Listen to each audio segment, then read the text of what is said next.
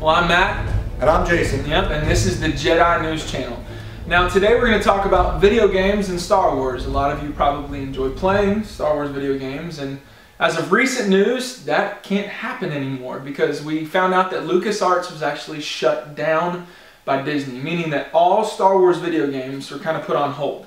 And so we were anticipating Battlefront 3 or Star Wars 1313, maybe some new RPG games, and all of them kind of got canned. They were shelved. But actually, recently, as of a few days ago, the rights to the Star Wars video games have been bought by EA. And so this is a huge deal because now we could see these video games we wanted, and they'll be produced and developed by EA. But there are some questions. Yeah. Number one, I know fans, they're going to want to know what games. What games are we going to get? And really, the, the details were pretty vague.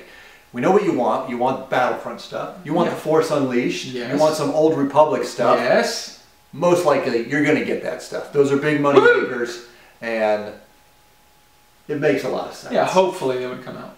But some of the other question marks are what do you do with titles like Angry Birds Star Wars, where Rovio makes those and really has to because, well, they are Angry Birds. And then you have the whole very popular Lego Star Wars franchise, which has six, seven, eight games, if you count tablet games and mobile apps, which is then is another question. Are we going to get app games from EA Sports for Star Wars? Yeah. Which it looks like we're gonna. The article specifically says that they will be also developing those app-based games as well, the mobile games. Yeah. And so it could be a huge thing for, for EA really because they're known as primarily I would say EA Sports, right? They create Right. all of the It's in the game. all the ma- say that again. That's It's in the good. game. Okay, that's good.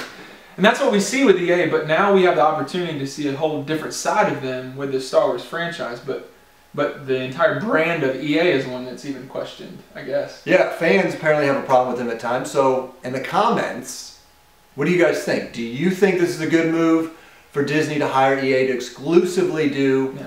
The video gaming? We know that EA also owns BioWare, which is a lot of, where a lot of those titles have come from already. But really, it's in the Force.